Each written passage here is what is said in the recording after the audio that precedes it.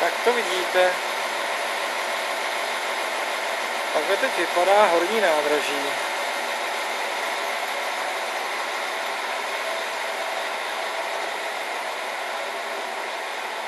Aha, někdo dneska jezdí vlakem ještě.